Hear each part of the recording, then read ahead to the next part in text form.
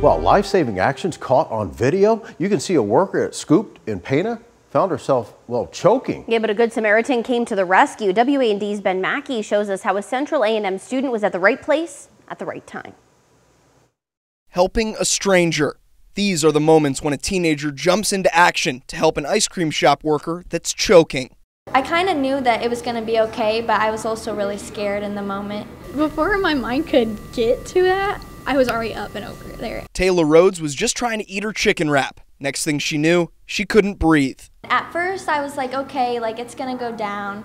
And um, Emma, my coworker, she kind of started patting on my back, and that's kind of when I realized like I was actually choking. Next came a calm but urgent question to the group of high schoolers sitting in the parlor. So I come out here and just nonchalantly I'm like, "Do you guys know how to do the Heimlich?" And she's like, "Yeah." So then I go back there and I'm like, "Come on, Taylor."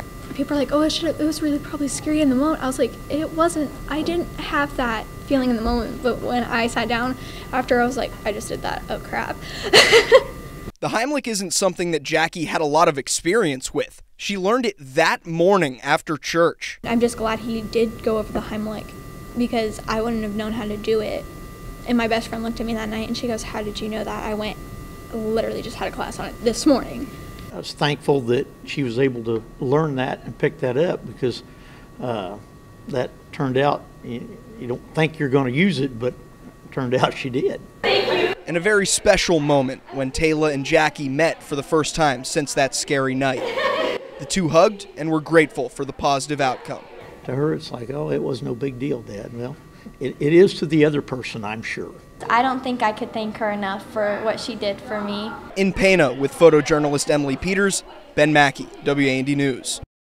Jackie and her dad hope that schools will consider bringing in professionals to teach students how to perform life-saving acts because you never know if or when you'll need them.